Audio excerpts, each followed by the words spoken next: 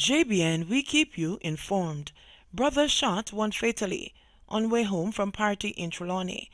Two brothers were attacked and shot, one fatally, in Trelawny early on Sunday morning. Reports are that the brothers were pounced upon by unknown assailants while they were on their way home from a party in the parish. The deceased has been identified as the elder brother, 20-year-old Ryan Neal of a Retreat Heights, Trelawny address. Reports are that about 4.30 a.m., the brothers were walking home along the roadway in Retreat Heights when they were attacked by armed men who alighted from a motor car. The brothers were shot and injured by the assailants, who then returned to their vehicle and sped off.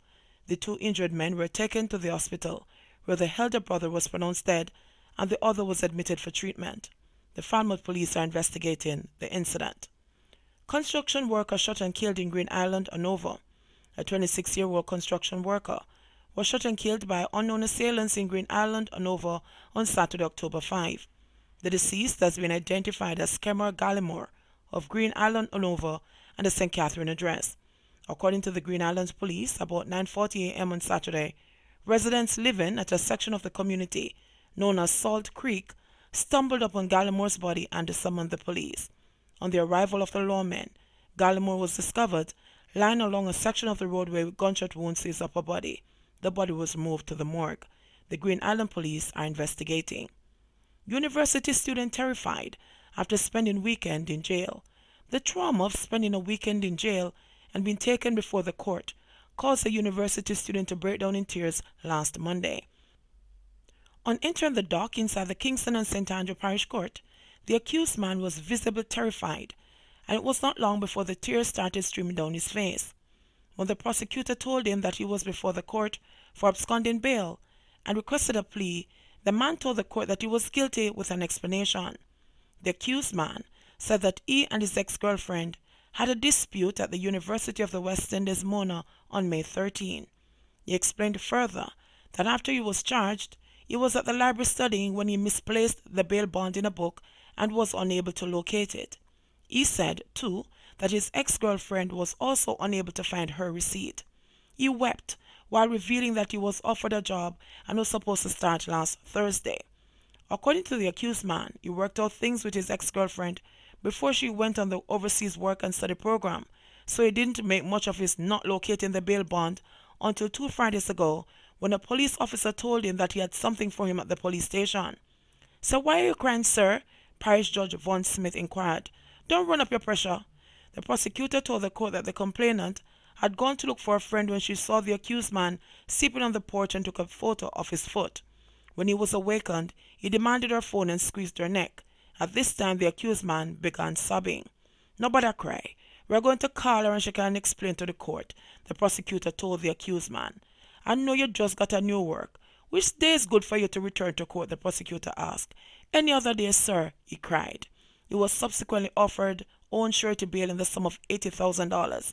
Before he was escorted out of the courtroom, he was told that if the complainant says his explanation is true, the matter can be brought to an end. NSC approves plan to improve citizen security in at-risk communities. The National Security Council, NSC, chaired by Prime Minister Andrew Holness, has approved a citizen security plan, which is a key component of Plan Secure Jamaica and is aimed at improving citizen security in at-risk communities. The plan was approved last Thursday at the NSC's monthly meeting, according to a release from the Office of the Prime Minister. Also discussed at the meeting were the issue of repeat traffic offenders and recent concerns raised by members of the entertainment fraternity about the enforcement of the Noise Abatement Act. Commissioner of Police Major General Anthony Anderson said there will be an increased focus on stopping these offenders, while Holness called on the ministries of Justice and National Security to work with the Attorney General's office to ensure a strong system of enforcement. Meanwhile, the Prime Minister, while recognizing the value of the entertainment industry to Jamaica, emphasized that all relevant stakeholders will be working towards solutions for objective standards and services within the ambit of the law. The NSC meeting was also attended by opposition spokesman on national security Fitz Jackson, signaling the government's bipartisan approach. Small businesses take a hit from JISCO Alpart layoffs. when more than 900 Alpart employees lost their jobs because Alpart bauxite plant shut down operations in 2009. It resulted in the largest block redundancies from one company in Jamaica. It also burnt a hole in the pockets of residents and small entrepreneurs of Nain St. Elizabeth, who rely heavily on the patronage of the Alpart workers to make ends meet. Then in 2017, when the gates were once again opened and thousands of workers flooded through the turnstiles at the now renamed JISCO Alpart bauxite plant, it triggered fanfare in the small but bustling Nain Square. Things were happening again. South St. Elizabeth and Nain, to be exact, was once again a decent place to make a little money, Althea said. Now faced again with the stark reality of a downturn in business, small business operators in Nain are angry about the layoffs and can barely contain their frustration. Althea said that she is now staring at the possibility of finding some other venue from which to sell her home-cooked meals as a majority of the 1,000 JISCO workers have already been sent home because of the scheduled upgrade of the plant. She said that the layoffs, which began in July, have been having a debilitating effect on her prospects for earning an income. It has really been bad because first time we used to cook and deliver the food to our many customers over the plant. But now it bad because the ones who are still there are taking food but we can't make no money as it's a very small amount of workers live over there she said recently. I used to have enough customers to make money every fortnight night and be happy paying my bills, restocking for the following week, and taking care of my family.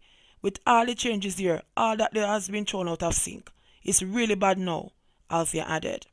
One employee reasoned that while the planned upgrade was good for the company's long-term operations, laying off so many workers could be a major setback for small businesses in the area. The operator of a bar in the square, said to be one of the more popular chill spots, just a stone's throw away from the JISCO plant, is considering having a single bar attendant instead of the two women he currently employs on a week-on, week-off schedule. It really serious here, man. Them place I used to be very busy, especially this time of the day, he said. Now look upon this. One man sipping a beer and the bartender. All the people them from over the plant gone at the yard, so we're not making any money again. Meters Away sits the largest wholesale supermarket in the town. Its operator said her business has been struggling in recent months and she's bracing for worse. Esme noted that her customer base has fallen off dramatically, with only a few passers-by and some residents turning up to make purchases. Me not lying it wicked. Me hardly getting the kind of sale me used to get. Only a fraction, and it is costing us at the moment, she said. Alpart, which operated under the Russian mining company UC Rusal's brand up to three years ago, signed a deal in July 2016 to complete the US $300 million sale of its 1.6 million ton Alpart alumina refinery to China's Jiuquan Iron and Steel Company JISCO, China's fifth largest alumina producer. JISCO has spent approximately US $300 million to date on rehabilitating the plant. Guy, concerned about dengue cases, calls for urgent attention. Opposition spokesperson on health Dr. Morais Guy is calling for the government to step up its vector control interventions in light of what he says is an increase in dengue cases across Jamaica. In a statement yesterday, Guy said he has been informed that spikes in cases have been recorded in Clarendon, Manchester, and St. Elizabeth. Further, he said that the information also indicate that health facilities are being overwhelmed and according to him in response, there is a triage system where only the very life-threatening cases are being admitted. Reports are that a child has died and that others are being sent home even when their platelet counts are low and at the risk of imminent bleeding. There are also reports that the program instituted by the Ministry of Health and Wellness has come to a halt as the vector control and vector eradication programs are not being adequately funded, Guy claimed. Guy said the situation has been exacerbated by the recent downpours. According to him, the situation has been worsened by the fact that there has been no visible fogging in communities. He's calling for urgent action. JBN, we keep you informed. Please remember to like, subscribe, share, leave us a comment, and click the notification bell to receive our daily news items.